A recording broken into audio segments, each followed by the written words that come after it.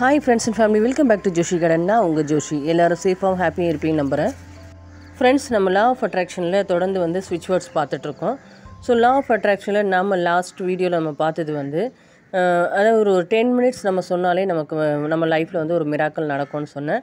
So ten time சொன்னாலே போதும் அந்த வார்த்தையேன்னு சொல்லிட்டு. ஸோ யாரெல்லாம் அதை யூஸ் பண்ணியிருப்பீங்கன்னு தெரியல யாரெல்லாம் ட்ரை பண்ணீங்கன்னு தெரியல ட்ரை பண்ணுங்கள் நிச்சயமாக மிராக்கல் நடக்கும்.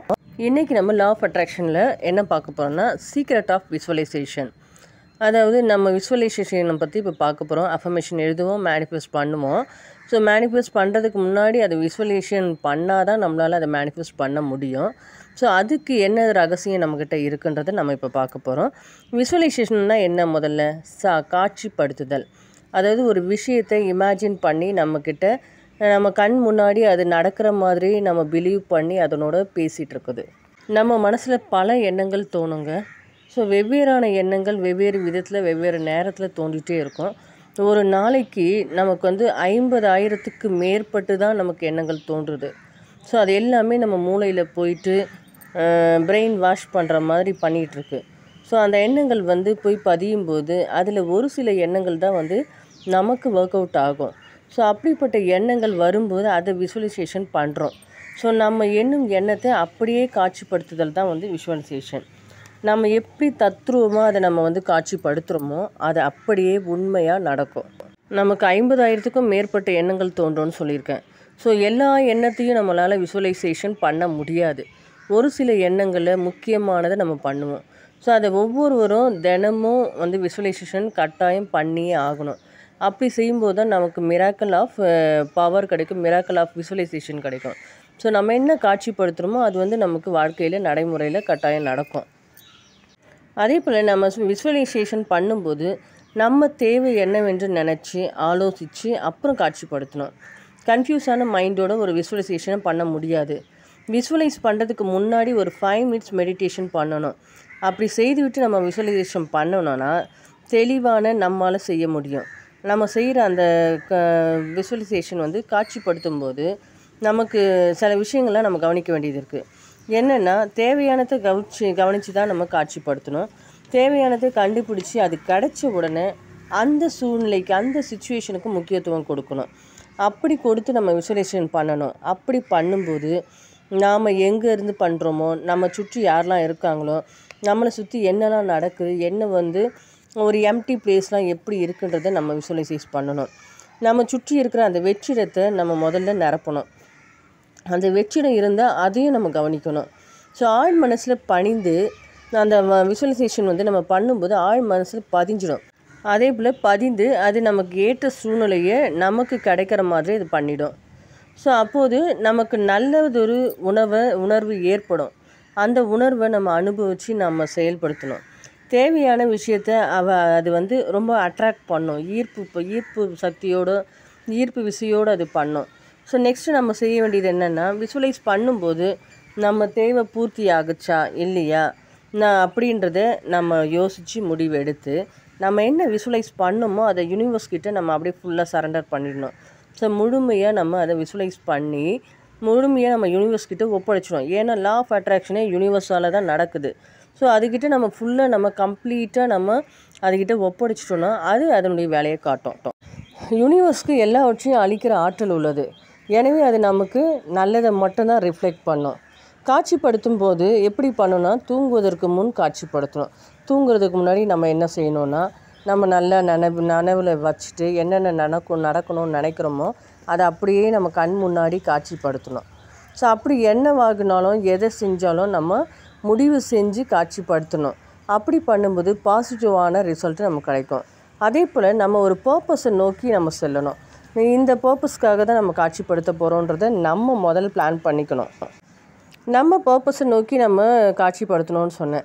ஸோ அப்படி செய்யும்போது நம்மளுடைய கடமை வந்து கடமையை நினச்சி நம்ம ப விசுவலைஸ் பண்ணும்போது பாசிட்டிவான விசுவலைஸ் பண்ணணும்.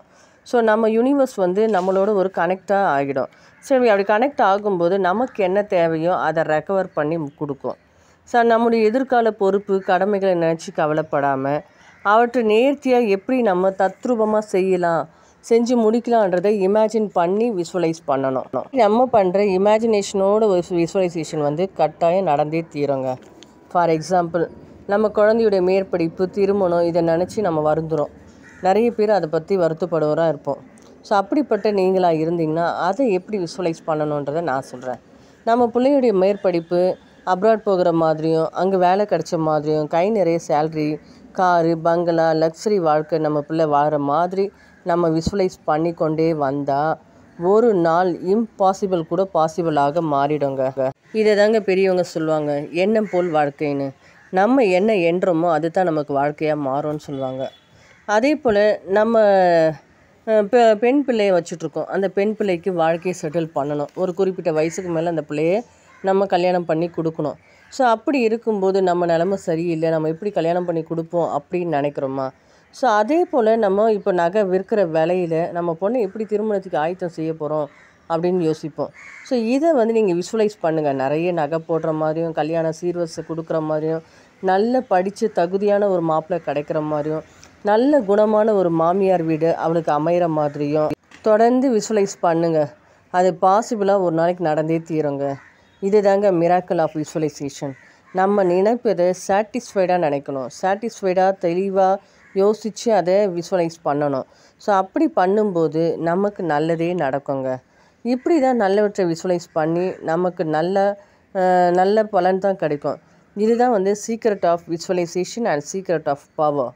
இந்த லா ஆஃப் அட்ராக்ஷனில் இந்த power of energy power of விசுவலைசேஷனை நம்ம அடையணும்னா நம்மளுடைய விசுவலைசேஷன் எப்படி இருக்கும்? அதனுடைய சீக்ரெட் எப்படி இருக்கணும்?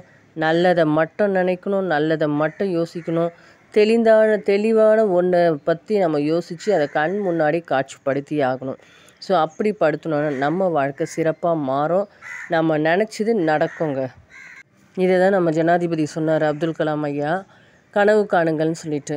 ஸோ கனவு காணுன்றதுன்னு இது கிட்டத்தட்ட ஒரு ட்ரீம் தானே. விசுவலைஸ் பண்ணுறதுன்றது நடக்கிற ஒரு விஷயத்த நடக்க போகிற விஷயத்த நம்ம கனவு காணுறது தானேங்க விசுவலைசேஷனு அது அப்படியே நடக்கிற மாதிரி நம்ம கண் முன்னாடி காட்சிப்படுத்து தானே விசுவலைசேஷனு ஸோ அதை நம்ம செஞ்சோன்னா நிச்சயம் நமக்கு நடக்குங்க. கனவு காணுங்க. நிறைய கனவு காணுங்க. நிறைய ட்ரீம் வந்து உங்களுக்கு பாசிபிளாக மாறதுக்கு விஷுவலைசேஷனை கட்டாயம் செயல்படுத்துங்க. தினமும் பண்ணிகிட்டே இருங்க. இதை பண்ணுறதுக்கு முன்னாடி ஒரு மெடிடேஷன் பண்ணுங்கள் நல்ல மனசை சந்தோஷமாக ஒருநிலைப்படுத்தி மைண்டை நல்லா ஃப்ரெஷ்ஷாகவும் பண்ணும்போது நல்ல ஒரு ரிஃப்ளெக்ஷன் நமக்கு கிடைக்குங்க. லா ஆஃப் அட்ராக்ஷன் நமக்கு வந்து எல்லாத்தையும் செய்ய காத்துட்ருக்கும்போது யூனிவர்ஸ் நமக்கு ஃபுல் சப்போர்ட் பண்ணுதுங்க. நம்ம என்ன நினைக்கிறோமோ அதை யூனிவர்ஸ் நமக்கு கொடுக்க காத்துட்ருக்கு. தயவு செய்து மிஸ் பண்ணாதீங்க. எல்லாருமே இதை விஷுவலைஸ் பண்ண பழகிக்குங்க ப்ராக்டிஸ் பண்ணுங்கள் ஃப்ரெண்ட்ஸ் இன்றைக்கி என்னுடைய மாடி தோட்டத்திலேருந்து உங்களுக்கு இந்த வீடியோ நான் அப்லோட் பண்ணிகிட்டு இருக்கேன் ஸோ நிறைய குருவி கத்துறது ஃப்ளைட்டு போகிறது அப்புறம் சின்ன சின்ன பாட்டு சவுண்டு இதெல்லாம் கேட்டுட்ருக்கு ஸோ இது எல்லாமே உங்களுக்கு டிஸ்டர்பன்ஸாக இருக்கும். Sorry for the disturbance friend தொடர்ந்து நான் இந்த சாரியை சொல்லிகிட்டே இருக்கேன். எனக்கு வேறு வழி தெரியல. என்னால் ஃப்ரீனஸ் இல்லை.